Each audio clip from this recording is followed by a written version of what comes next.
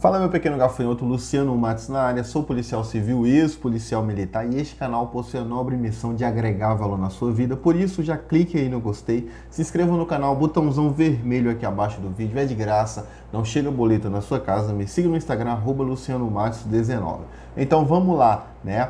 É, as notícias que eu abro a internet aqui, o que eu encontro no jornal aqui, ó, Rio Claro, grupo Rio Claro SP, né? Assassino do cabo, né, da PM aí do Rio de Janeiro, em loja de departamentos, é preso no Rio de Janeiro. É engraçado que eu dei uma pesquisada aqui e na mídia tradicional eu ainda não encontrei nada. E quando aparecer, pode ter certeza, irá aparecer suspeito né, de ter matado o policial militar do Rio, é sempre assim. Pode ter certeza, né? naquela mídia tradicional que eu não preciso falar aqui, né, o clima aqui, ó, tá chovendo agora, né, clima aí de sol quente, chuva, às vezes faz um pouco de frio e calor e acaba lenhando o sistema imunológico de, de todo mundo aqui, né, cara? É gripe, eu já sofro aí de, de rinite alérgica, aí você já viu, né? Então vamos lá.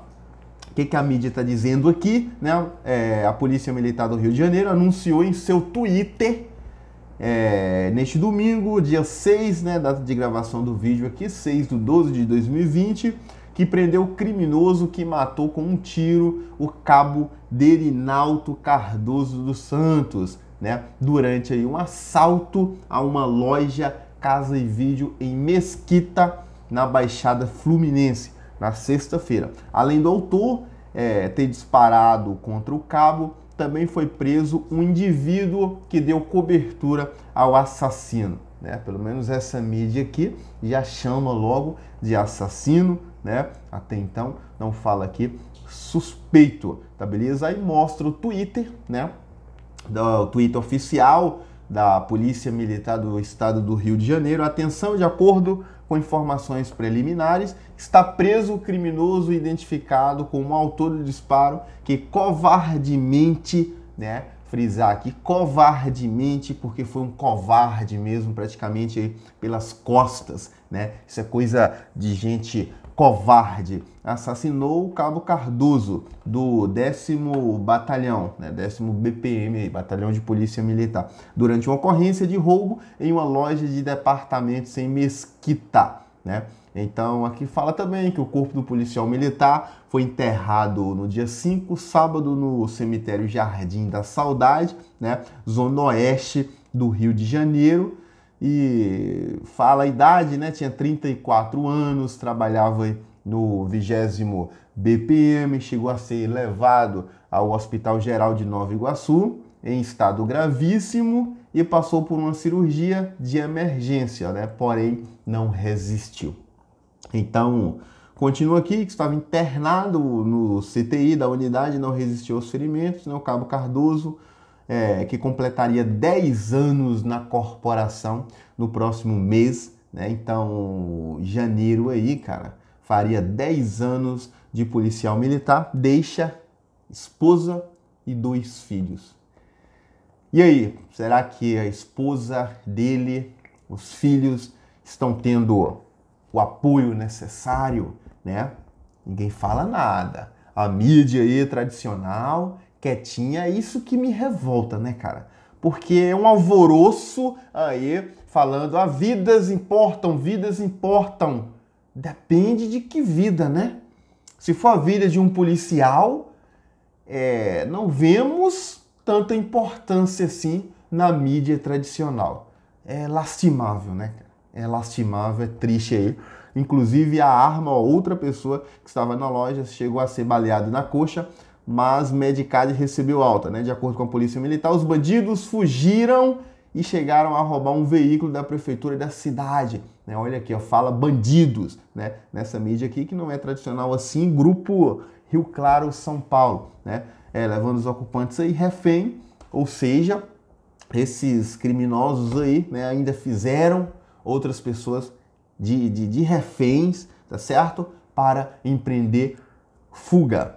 Né? Então, ainda na noite de sexta, policiais militares receberam a denúncia de que a arma usada no crime estava escondida em uma localidade em Padre Miguel, na zona oeste do Rio. No endereço indicado, os agentes encontraram um revólver calibre 38 com numeração raspada e cinco munições. Né? Então a arma do crime foi localizada aí graças a denúncias, tá certo? Fonte aqui, Beto Ribeiro, repórter, né?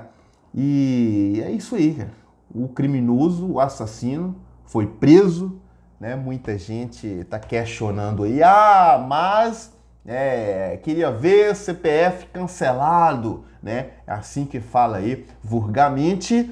E CPF cancelado, por que não cancelou o CPF e tal? Cada um fala o que quer, né? Eu não estou aqui defendendo o criminoso, eu odeio o criminoso, tá certo? Detesto o criminoso, sou policial. Não gosto de criminoso, não gosto de, de usuário de droga essa é a realidade, né? E quem se sentir ofendidinho, ah, ele disse que não gosta de usuário de drogas e eu sou usuário de drogas. É só deixar de seguir, não tem problema nenhum, tá beleza? É um favor que faz, cara, porque droga destrói, cara. Droga destrói, né? Famílias e eu sei disso porque eu já senti na pele aí de familiares bastante próximos a mim, né? E eu vejo o sofrimento. Então não tem como eu aqui enaltecer esse tipo de coisa, né? É... E é triste. Eu sei que um pai de família, né, foi enterrado aí, é, não vai mais trabalhar, não vai mais voltar para casa, né? não vai mais brincar com os filhos. Ele sempre era ativo nas redes sociais.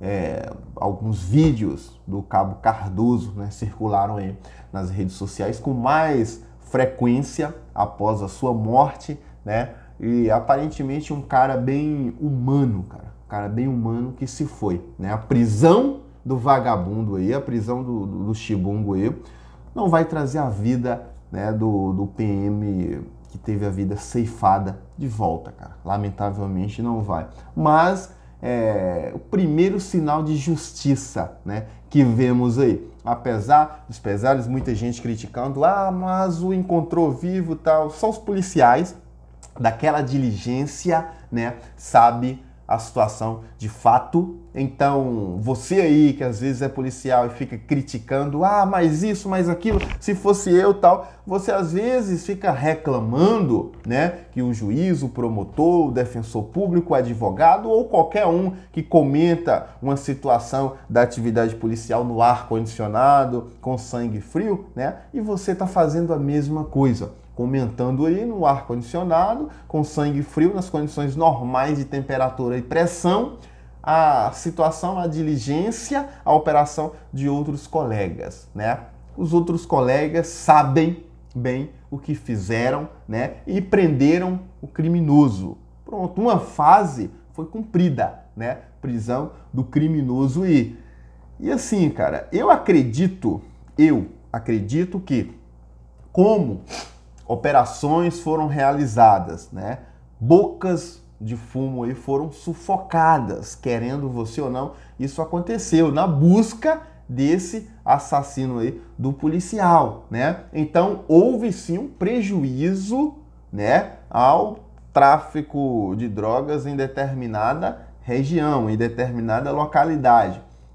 Talvez esse criminoso saia em uma audiência de custódia, né, ou logo logo sai aí por algum motivo, ah, porque é réu primário ou qualquer outra situação, e aqueles criminosos, né, que tiveram prejuízos aí, cobrem, né? Talvez isso possa acontecer. Então tudo tem o seu tempo, tá certo? Eu sei que a justiça começou a ser feita, né? Então informação passada aqui né? É, que bom que não ficou impune, né, cara? Que bom que, assim, tenha ciência. A criminalidade, ela tem que ter a ciência que o policial não está só. Por mais que existiam apenas dois ali, né? Cara, é mexer no vespeiro. É mexer no vespeiro. pode fazer covardia com um policial no momento que ele estiver sozinho, tal, mas vai ser caçado. Não importa se é preto, branco, né? É gordo, magro, rico ou pobre, vai ser caçado. Cliquem no gostei, inscrevam no canal, me sigam no Instagram, arroba Luciano Matos 19. Forte abraço, tamo junto e até a próxima, se o bom Deus nos permitir.